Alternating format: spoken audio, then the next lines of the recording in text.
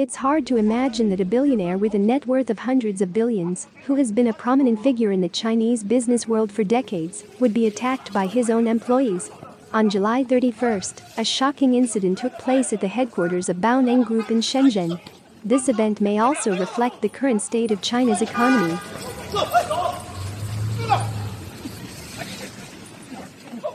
At around 9 a.m., a small-scale conflict occurred outside the parking lot of Baoneng Center in Shenzhen.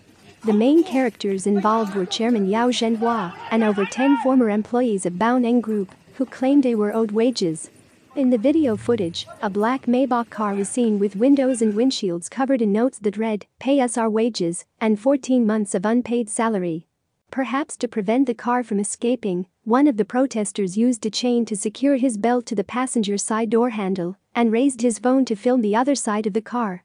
Yao Zhenhua was surrounded by security personnel and protesters in the middle of the road.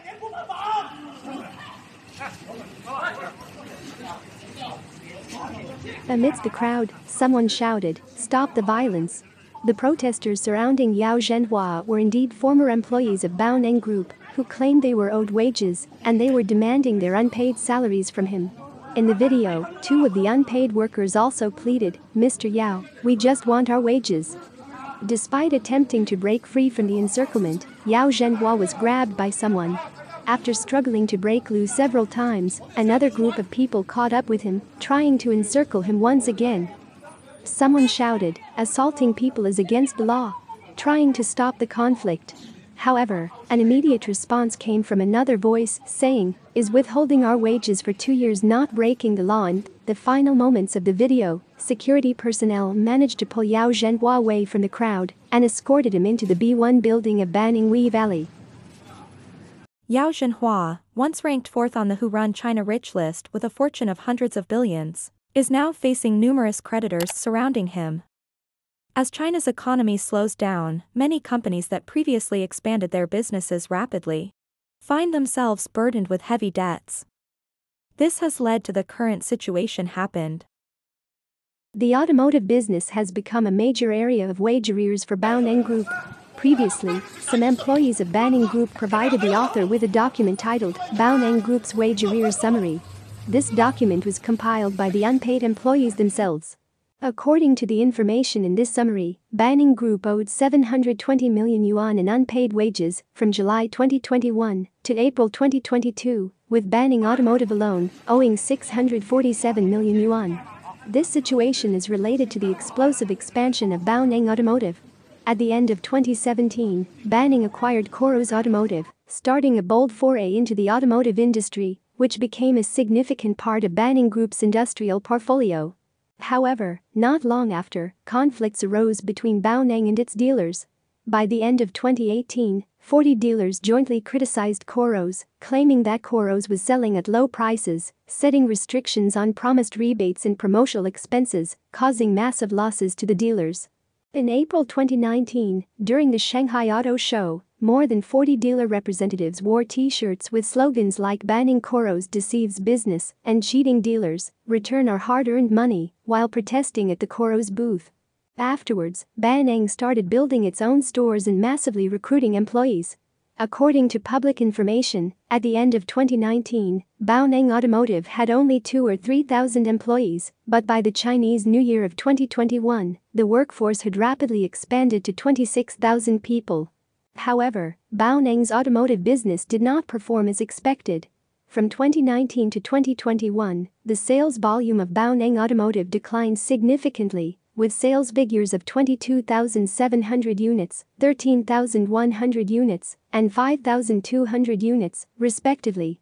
This downturn led to a wave of store closures and employee wage arrears. As early as the beginning of 2021, Baoneng Automotive Sales Company employees began to experience unpaid social security contributions, and six months later, the same problem occurred for Baoneng Automotive's regular employees. Liu Qi, one of the employees, had approximately 40,000 yuan in unpaid wages, but she understood that the majority of those owed were owed amounts exceeding 100,000 yuan.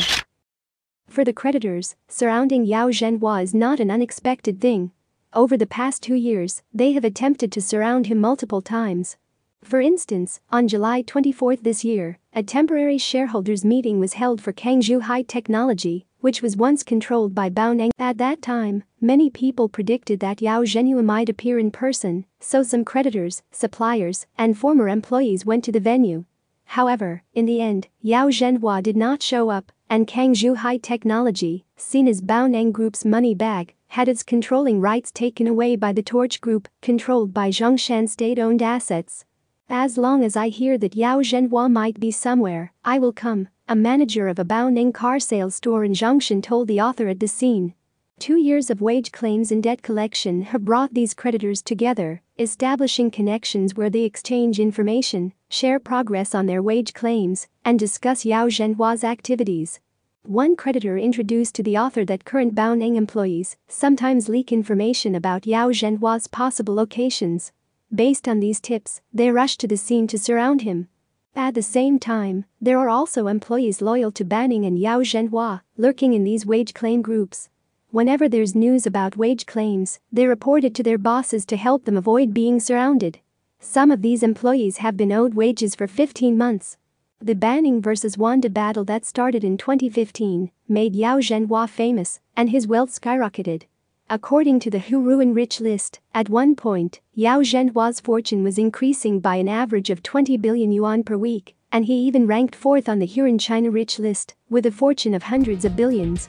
Now, this former billionaire is being surrounded by creditors everywhere, and on July 31, he was attacked and had his glasses knocked off.